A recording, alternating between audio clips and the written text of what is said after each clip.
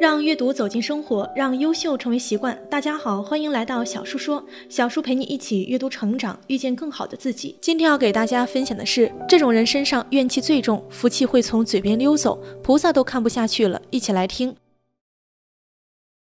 你为什么叹气呀？我没叹气呀。有些人经常无意识叹气，连自己都无法察觉。民间有种说法叫“一叹穷三年”，老人家就对一天到晚叹气很反感。行为展示性格，性格决定成败。心理学中有一个理论说，人是这个世界上唯一接受暗示的动物，确实是这样的。一个人的性格如何，就决定了他的身处环境如何，圈子如何，又决定了他的人生高度怎样。而这一切的变化，皆是源于这个人在面对生活时的态度如何。狄更斯说过：“一个健全的心态比一百种智慧更有力量。”生活中的事情不如意的远比如意的事要多。如果每天都在不如意中唉声叹气，抱怨生活的不公平，那你的人生永远只能屈服于苦难，难见明媚的阳光。反之，如果面对生活万般的不如意，还拥有乐观的心态和换角度思考的智慧，那么困难自能迎刃而解，烦恼也能烟消云散。所以，治愈了生活的不是金钱，更不是时间，而是你看开的一切，乐观积极的好心态。一叹气只会让苦难得寸进。止，叹气改变不了生活，反而会让生活更苦。一个人一旦心中满怀怨恨、怨天尤人，总觉得世间不公平，觉得天下人都对不起自己，那他的人生就陷入了生活的陷阱，难以自拔了。就像曾经看过一句话说，差不多任何一种处境。无论是好是坏，都受我们对待处境的态度的影响。心由境转，境由心生。你对事件的态度，就是你告诉生活的唯一答案。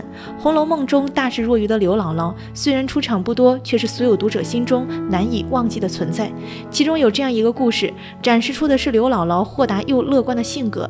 刘姥姥很早就死了丈夫，是个靠着一亩薄田来维持生计的老寡妇。她唯一的女儿嫁给了王家孙子做媳妇儿。刘姥姥被请到女儿家里照看孩子，马上就要过年了，却因为家里贫穷困窘的现状，连一件过节的物件也没办法置办。女婿每天怨声载道，到处埋怨，惹得女儿也跟着成天唉声叹气，无心处理家中的琐事。刘姥姥一看这样下去就要连年都过不好了，就给女婿出主意：你们祖上不是和金陵王家连过宗吗？何不去攀攀亲戚，走走运气？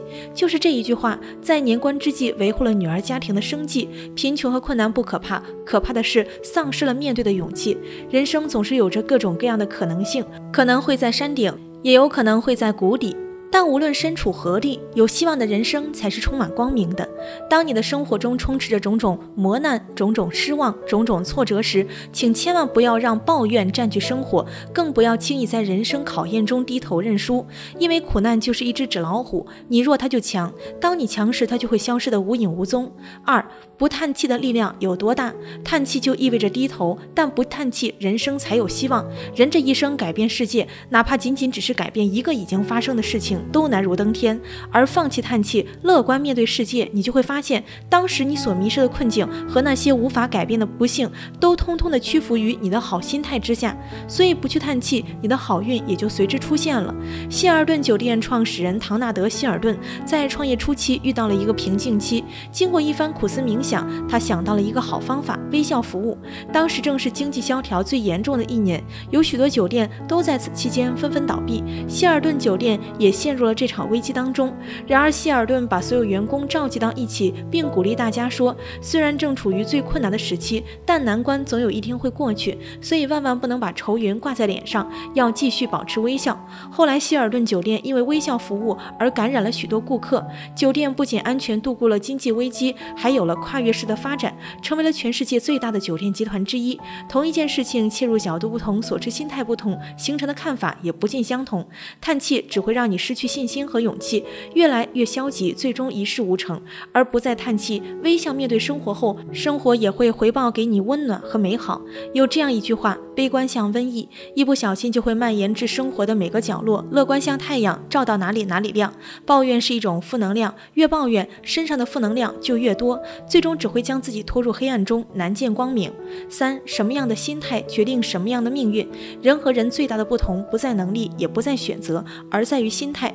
就像很多人说的那样，生活就是一面镜子，你对他笑，他也会回报你微笑；你对他哭，他也对你哭。我们在这个世界上有着太多无能为力的事情，而这些无法改变，也常常影响着我们的心情。生活的智慧也正在于此。我们控制不了世界的变化，但自己的心态却是牢牢掌握在自己手中的，也只有自己可以改变。曾经看过这样一则故事：有三个工人在路边砌一堵墙，有位路人经过问道：“你们在干什么？”第一个人无精打采地说：“你没看见吗？正在砌墙。”第二个人抬头笑了笑说：“我们在盖一栋漂亮的高楼。”第三个人一边边干活一边哼着歌，笑容格外灿烂。他认真地说：“我们在为别人创造美好的生活。”十年后，第一个人仍在工地砌墙，第二个人成为了一名工程师，第三个人则是负责建筑工程的领导。心态好的人，一手烂牌也会化险为夷；心态不好的人，一手好牌也得不到成功。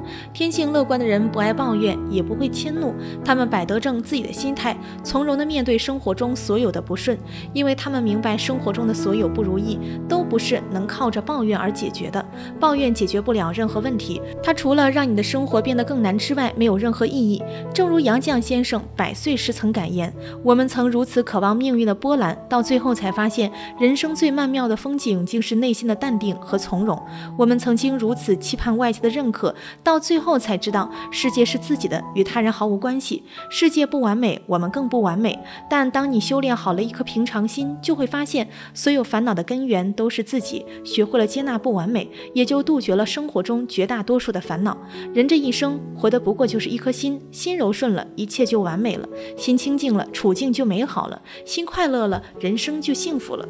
人生长不过百年，生命也不会重来。愿我们都能拥有一个好心态，顺境淡然，逆境泰然，是非常有，不听当无，如此自能迎来柳暗花明、花团锦簇的美好。人生漫漫，生活中难免有不愉快，有的人会因为小。挫折而否定自己，有的人却能在失败中找到改进的方法，继续努力。用什么方式、角度来解释事物？不同的解释形态可能带给每个人不同的发展过程。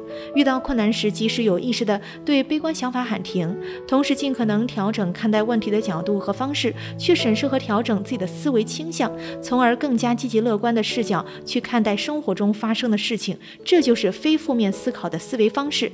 遇到困难，保持行动，即使只是一点点。点成功也有助于增加自信，而自信反过来激励我们更努力，达到良性循环。正面的思维、乐观的心态是可以这样锻炼出来的。